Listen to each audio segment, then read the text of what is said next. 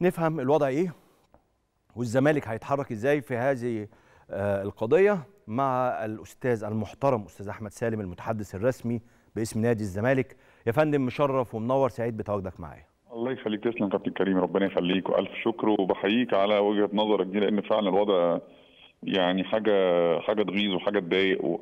ولو حتى مش هنتكلم ك... ككورة هنتكلم كاقتصاد. إحنا في أمس الحاجة لأي دولار النهارده في ظل ظروف اقتصادية صعبة في, استيراد مواد غذائية وأدوية وغيره.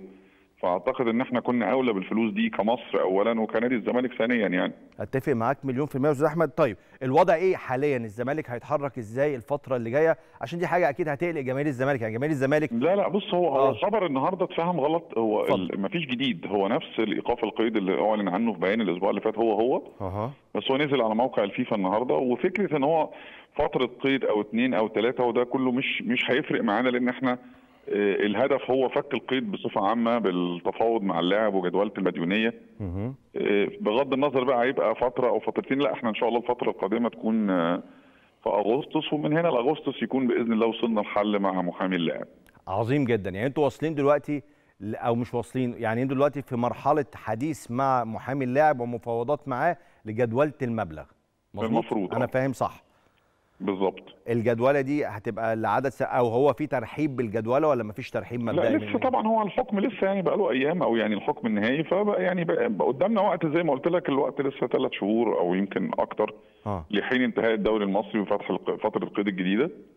فطول الف... يعني الفترة اللي جاية إن شاء الله هيكون في شغل مكثف على الموضوع ده. امم والمفروض عندنا بكرة كمان باتشيكو ف نتمنى تكون النتيجة يعني في صالح نادي الزمالك عشان ما ما, يبقاش برضه مبالغ أخرى بتنفق في, في الأرض بالمنظر ده يعني. أنت بتقول نتمنى نتمنى دي وبصوت أقل شوية نتمنى مع قلق شديد يعني إنه وارد إنه لا يعني أصل أنت عارف أي حاجة منظوره امام آه. القضاء أنت بتبقى حاطط كل الاحتمالات يعني ما تقدرش تحدد موقفك غير لما يصدر الحكم ف آه أو يجي الرد أو القرار النهائي فربنا يسهل طيب. نتمنى إن شاء الله وبنؤكد برضو إن المجلس زي ما حل الأزمات السابقة هيحل الأزمات اللاحقة بإذن الله.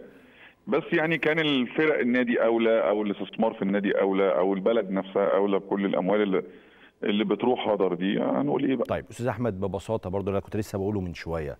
أكيد في حد مسؤول هيتحاسب بشكل أو بآخر. ده بيحصل. هل مجلس إدارة الزمالك صعد الأمر بشكل معين؟ هل الزمالك بيقول والله يا جماعة خد بالك ده غلطان ده غلطان؟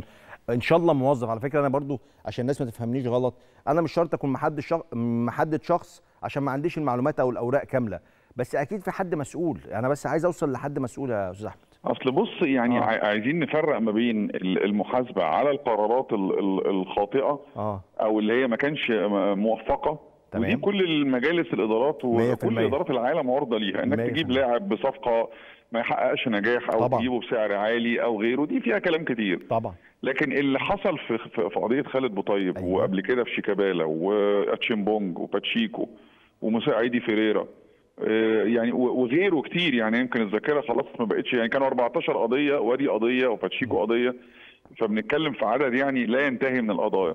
دي كان فيها أخطاء إدارية فادحة تستحق المساءلة أيوه يعني أنا ما عنديش فكرة هل في بند في القانون يحاسب الإدارات السابقة على الإهمال الجسيم أو على ال ال ال الأوضاع اللي زي دي. آه، لكن الوضع حتى حكم المحكمة نفسه فيما يخص خالد بوطيب. آه، كاشف لمدى الاستهتار أو الاستخفاف بإنهاء التعاقدات مع اللاعبين.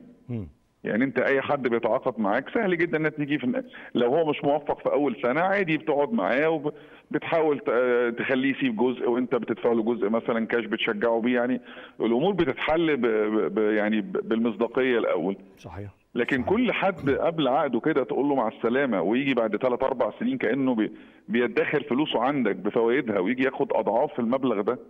أعتقد ده يعني إهمال آه، جسيم يعني آه، لافت للنظر يعني حاجة صحيح. مؤسفة يعني. صحيح. طيب أستاذ أحمد كان معايا امبارح دكتور حسام المندوه رئيس البعثة بعثة نادي الزمالك في آه، غانا وسألته على احتفال مصطفى شلبي. قال لي هنبحث الموضوع ونشوف لو في مشكلة نتعامل مع اللاعب في هذا الشأن. هل حققتوا في هذا الأمر؟ هل الموضوع خد مساحة هو ولا؟ في فيديو حسم الأمر إن مصطفى كان بيجري على مدرج اللي فيه كابتن حسين لبيب رئيس المجلس ودكتور حسام. وشيكابالا والفيديو كشف إن اللعيب بيحتفل وبيخبط على صدره إن يعني الزمالك في القلب أو إن هو يعني بي آه، يعني ده اتفاق بينه وبين شيكابالا أو حاجة. لكن مصطفى لعيب محترم و آه، وأخلاقه عالية جدا وتعرض لضغط آه، إعلامي يعني قوي جدا الفترة اللي فاتت بسبب إن هو لسه كان لسه راجع من الإصابة. والراجل عمل assist وجاب جون فيستحق إن شاء الله كل التهنئة يعني والفريق كله كان رجاله ويستحقوا كل التهنئة كله صحيح.